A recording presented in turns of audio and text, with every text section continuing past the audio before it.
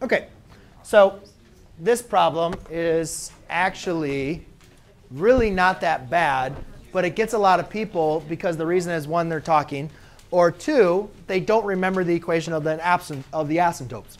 Excuse me. So first of all, there's a couple things I want you guys to remember. First thing, vertical transverse axis. You guys should know off the bat, if you have a vertical transverse axis, what exactly is the equation of a hyperbola.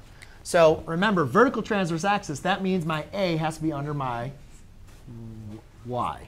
So the equation I'm going to use is y minus k squared over a squared minus x minus h squared over b squared equals 1. Remember for hyperbola, again, we're writing the equation of hyperbola. That's what we're practicing today. Hyperbola is always a squared minus b squared. You guys can verify it's over there.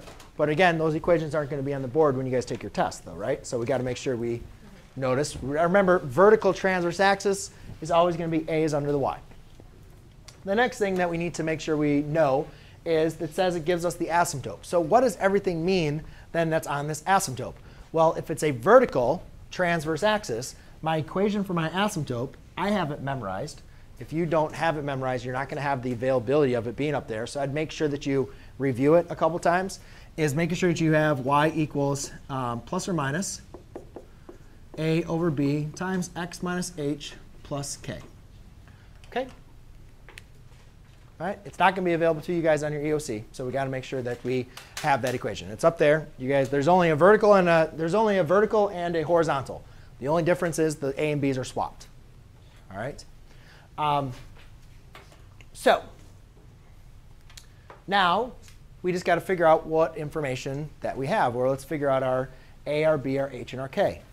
So what's nice about giving the equation of the asymptote, do you guys see how 5 is equal to a and 4 is equal to b?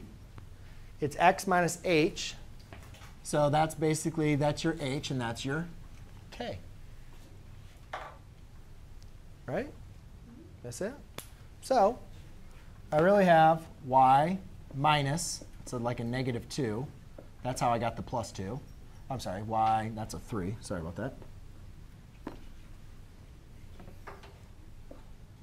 y minus 3, because 3 is k, squared all over a squared, which is 5 squared, minus x minus a negative 2 squared over b squared, which is 4 squared, equals 1. And therefore, I get y minus 3 squared over 25 equal, or minus x plus 2 over 16 equals 1.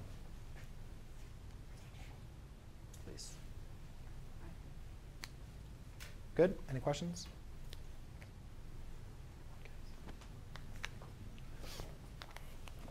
All right. Yes, Timothy.